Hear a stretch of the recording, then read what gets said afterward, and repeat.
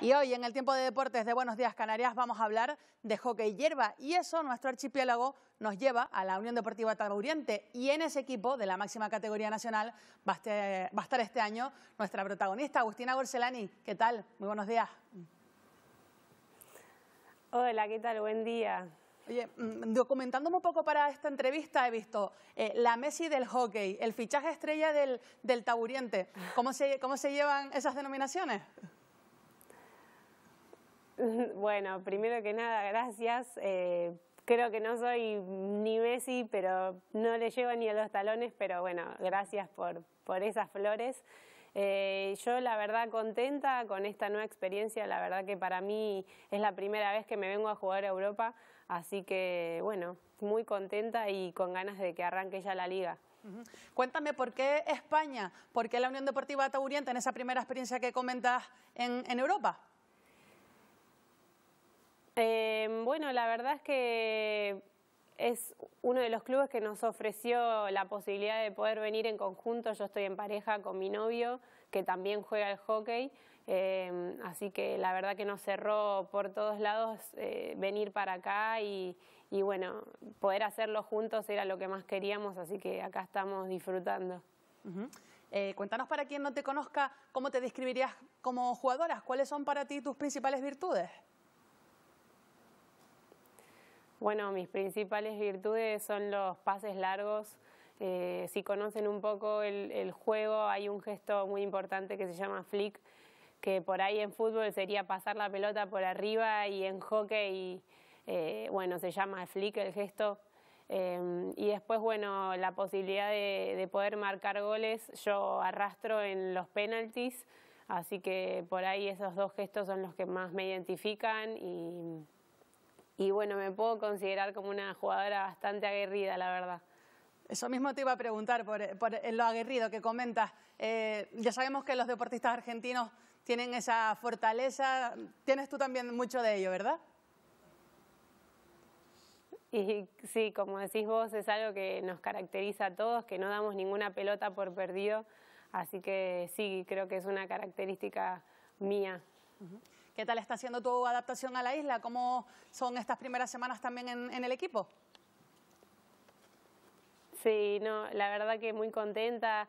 El grupo me recibió muy bien, las chicas son unas divinas todas eh, y bueno, como te dije antes, ya con mucha ansiedad porque arranque la liga, ya este domingo tenemos nuestro primer partido, por suerte de local, eh, contra el Polo, así que ya esta semana preparándonos eh, con la cabeza 100% metidas en, este primer partido. Tampoco has tenido mucho tiempo de descanso, ¿no? Porque estuviste en verano en los Juegos Olímpicos de Tokio, donde tu selección pues, se llevó la, medalla de, plátano. Cuéntanos qué tal la, experiencia. Además marcaste un gol, ¿verdad? En la, en la final también ante Países Bajos. Sí, bueno, ¿qué te puedo decir? La verdad que ir a un Juego Olímpico para mí desde ya es una locura, fue una experiencia muy, muy linda y bueno, después cerrarlo con una medalla eh, es, es la gloria para nosotras. Realmente por ahí uno siempre tiene la esperanza de que pueda llegar a lograr algo, pero bueno, nosotras fuimos partido a partido y bueno, finalmente tuvimos la posibilidad de estar en la final y, y llevarnos una medalla que para nosotras tiene un valor importantísimo. Lo disfruté muchísimo, eh, así que nuevamente te digo que estoy muy contenta por todo esto eh, y ahora acá disfrutando a pleno.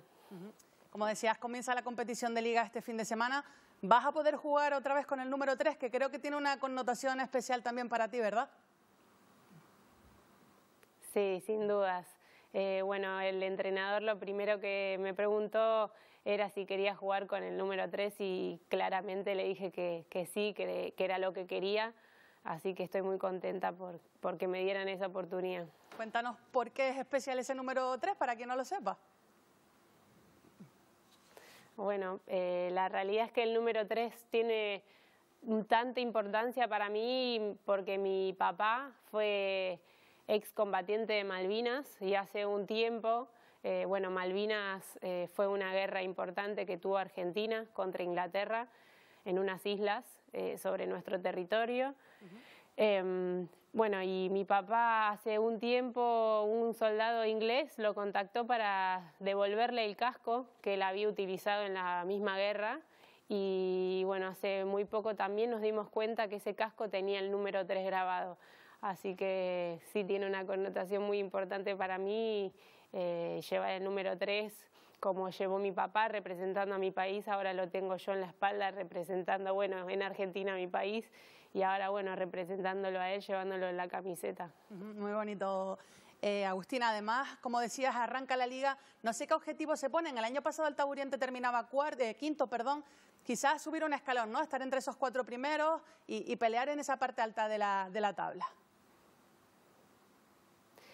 Sí, sin dudas. La intención del equipo es siempre, obviamente, eh, apuntar a, lo más alto que se pueda, pero creo que lo importante va a ser ir partido a partido, em, arrancar concentrándonos en lo que primero viene, que es eh, el primer partido del domingo contra el Polo. Pero bueno, obviamente en la cabeza de todas está poder quedar entre las ocho primeras para poder clasificar a la Copa de la Reina, que se juega en noviembre.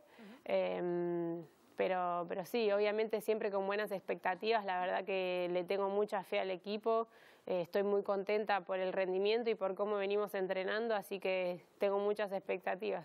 Bueno, pues Agustina Gorcelani, jugadora de la Unión Deportiva Taburiente, muchas gracias por acompañarnos esta mañana en Buenos Días Canarias y toda la suerte para esta temporada.